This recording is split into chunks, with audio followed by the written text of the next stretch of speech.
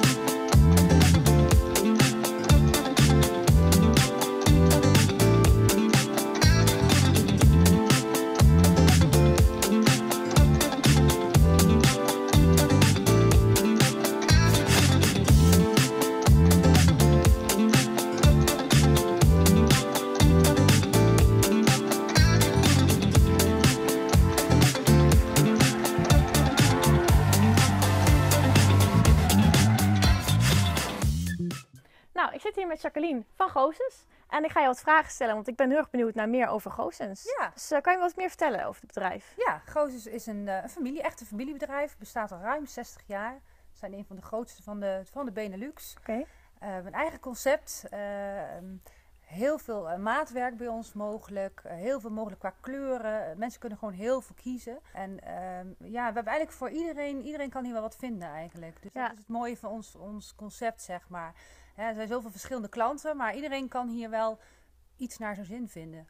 Ja, en merk je dan ook zeg maar, dat de klant veel voorkeur heeft voor een bepaalde trend of kleuren of stijlen? Of is dat... Ja, nou ja, ook wel heel divers. Maar je merkt wel dat de industriële look eh, nu heel erg eh, een trend is, zeg maar. Dat mensen eh, zoeken naar natuurlijke materialen, grof hout, noesen erin. Ja. Dat soort dingen is nu wel op het moment heel erg... Ja, precies. Ja. Ja, en dat zien we natuurlijk ook in de hanglampvorm Ja. terug. ja. Eh, wat maakt deze lamp zo bijzonder?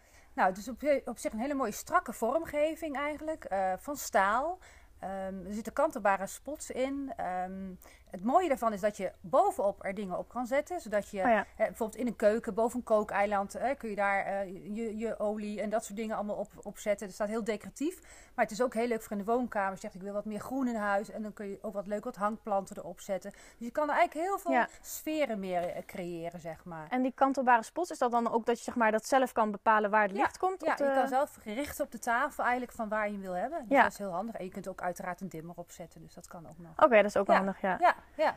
Nou, ik ben Dus, eh, heel erg benieuwd naar de lamp. Ja, nou, En eh, ja, wij gaan in ieder geval even kijken hoe we dat kunnen stijlen, die lampen, of de lamp. En Ja. eh, laten zien wat voor eh, ja. dingen we erop kunnen zetten. nou, heel leuk.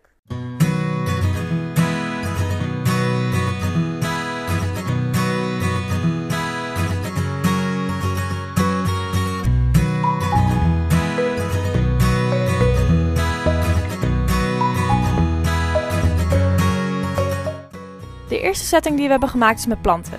Dus hou je van groen en de botanische trend, dan is dit zeker iets voor jou. Het is bijvoorbeeld ook heel erg leuk om er hangplantjes aan te hangen, want eh, ja, zo krijg je toch een heel leuk effect.